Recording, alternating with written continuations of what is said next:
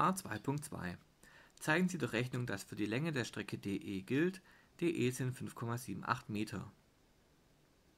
So, zuerst mal überlegen, wo liegt die Strecke DE? Das ist diese hier. Dann nächste Überlegung, wie kann man die berechnen? Dafür suchen wir ein Dreieck, wo diese Strecke DE drin liegt und von dem wir möglichst viel kennen. Da bietet sich jetzt nun das Dreieck ADE an. Ja, und äh, nächste Überlegung, ist dieses Dreieck rechtwinklig? Nö, also funktioniert nur der Sinussatz oder der Cosinussatz. Für den Sinussatz bräuchten wir zwei Seiten und zwei Winkel. Wir haben zwar zwei Seiten gegeben, aber kennen nur einen Winkel. Für den Cosinussatz bräuchten wir drei Seiten und einen Winkel. Aber wir sehen schon, uns fehlt hier die dritte Seite. So, wenn der Fall ist, dass weder Sinussatz noch Cosinussatz funktionieren, heißt es, wir müssen noch irgendeine Zusatzgröße zuerst berechnen.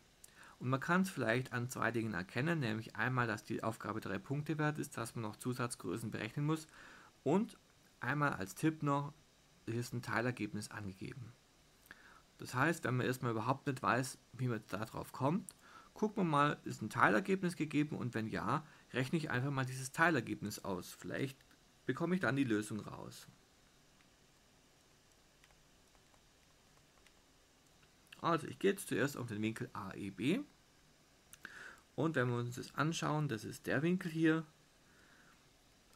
und der liegt auch schön im Dreieck, von so her wäre der ganz gut, um vielleicht weiterrechnen zu können. So, wieder überlegen wir, in welchem Dreieck liegt dieser Winkel AEB drin. Ja, einmal hier im, A, im ADE, da haben wir gerade schon gesehen, da fehlen uns noch Größen, um damit rechnen zu können. Aber der liegt auch zusätzlich in dem Dreieck ABE drin. Und von diesem Dreieck ABE wissen wir, es ist nicht rechtwinklig, von so her gelten Sinussatz und Cosinussatz. Schauen wir es uns an. Sinussatz bräuchte man zwei Winkel, zwei Seiten, aber da kennen wir weder diesen großen Winkel hier noch diesen Winkel. Das heißt, Sinussatz geht nicht. Aber wir kennen eine Seite, zwei Seiten, drei Seiten und ein Winkel ist gesucht. Damit funktioniert der Cosinussatz. So, den finden wir auch in der Formelsammlung auf der Seite 32, nee, 30 sogar.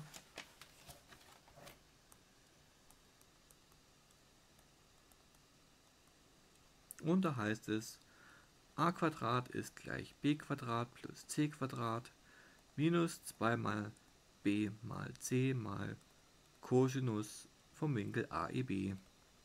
Ja, ne Quatsch, im Formelsammlung ist nicht, da steht Alpha.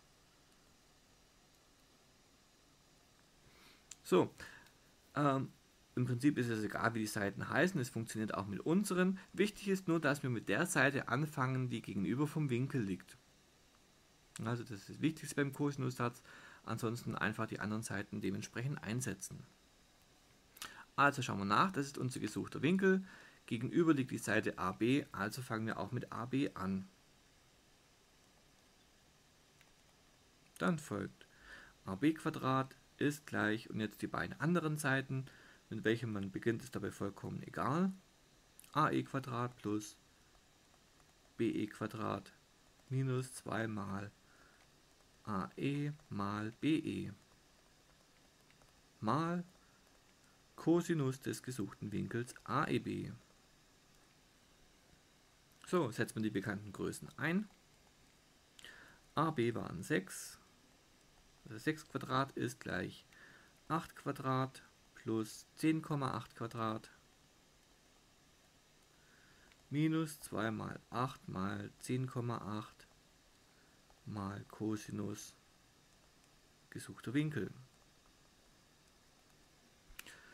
So, das kann man jetzt entweder mit Hilfe vom Solver lösen oder per Umformung. Ähm, ich mache es jetzt über die Umformung. Zuerst muss ich die Strichumformung ansetzen, also diese beiden hier heißt ja plus 8 und plus, 10, äh, plus 8 Quadrat und plus 10,8 Quadrat. Die bringe ich jetzt mit minus 8 Quadrat und minus 10,8 Quadrat auf die linke Seite. Und dann kommt die Punktumformung. Dann teile ich durch alles, was hier vom Cosinus steht. So, ich führe jetzt die beiden Schritte gleich aus. Ähm, also wie gesagt, das wäre die äh, Strichumformung, also 10,8.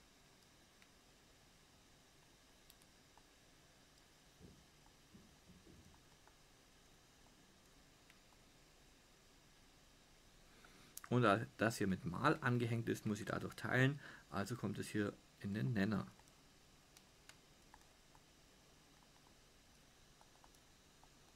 So, dann bleibt hier noch übrig Cosinus von AEB. Und um jetzt den Cosinus aufzulösen, brauche ich jetzt die Umkehrfunktion, also den Cosinus hoch minus 1. Und ich drehe die beiden Seiten gleich noch um. Dann habe ich Winkel AEB ist gleich Cosinus hoch minus 1 von 6 Quadrat minus 8 Quadrat minus 10,8 Quadrat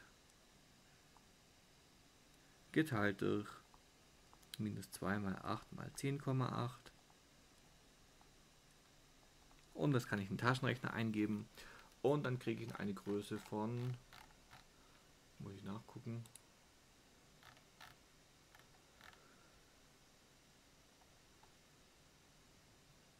33,17 Grad. Ja, gut, hier oben steht es ja.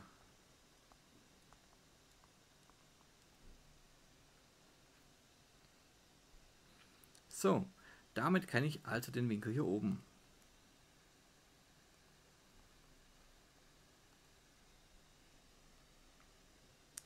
Gut, jetzt überlege ich nochmal, wie ich auf die Seite DE komme. Die da. Wie gesagt, es funktionieren Sinussatz und Kosinussatz. Für den Kosinussatz fehlt uns hier immer noch die dritte Seite, also können wir den ausschließen. Aber Sinussatz wäre jetzt interessanter, weil wir kennen hier diesen Winkel. Gut, äh, Sinussatz heißt,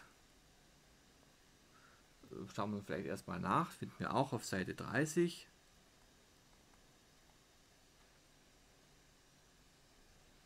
Und der heißt jetzt hier a durch Sinus Alpha ist gleich b durch Sinus Beta ist gleich c durch Sinus Gamma.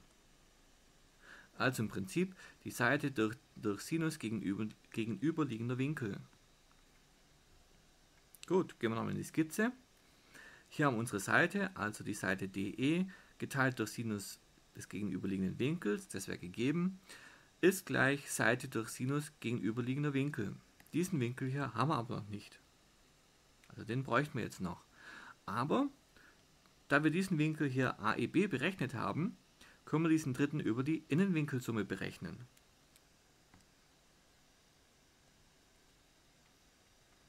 Also wir brauchen erst noch den Winkel EDA.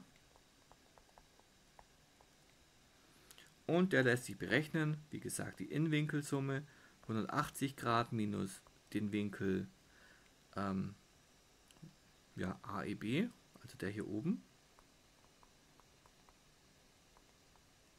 Und Minuswinkel der hier unten, das war der DAE. Setzen wir die bekannten Größen ein. 80 Grad minus die 33,17 Grad minus die 45 Grad ergibt dann einen Winkel von 101,83 Grad. Und damit kennen wir alle drei Winkel. So, und damit können wir jetzt auch endlich den Sinussatz ansetzen. Also wie gesagt, Sinus äh, DE ist gleich DE durch Sinus von AE. Nochmal, DE durch Sinus von 45 Grad ist gleich AE durch Sinus von 101,83 Grad. So,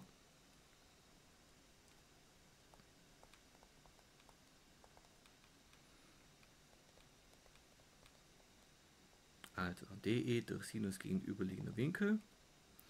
Das war der Winkel DAE ist gleich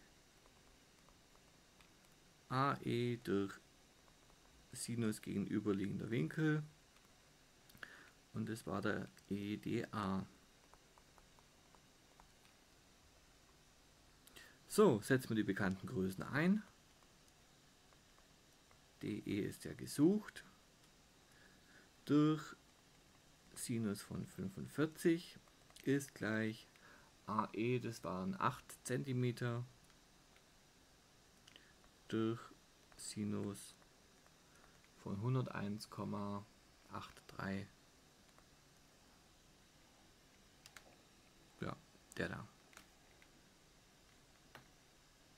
So, das kann man jetzt entweder in den Solver eingeben und auflösen lassen oder per Umformung nach auflösen. Ähm, ich mache es über Umformung. Hier schaffe ich jetzt erst die Sinus 45 auf die rechte Seite. Ja, ein Bruchstrich heißt nichts anderes als geteilt. Also kriege ich das mit mal Sinus 45 auf die rechte Seite. Und dann heißt es hier DE ist gleich 8 durch Sinus 101,83 mal Sinus von 45. Das lässt sich ganz normal in Taschenrechner eingeben und dann kommt eine Länge von ungefähr 5,78 Metern raus. Und dann hätten wir die Strecke DE endlich berechnet.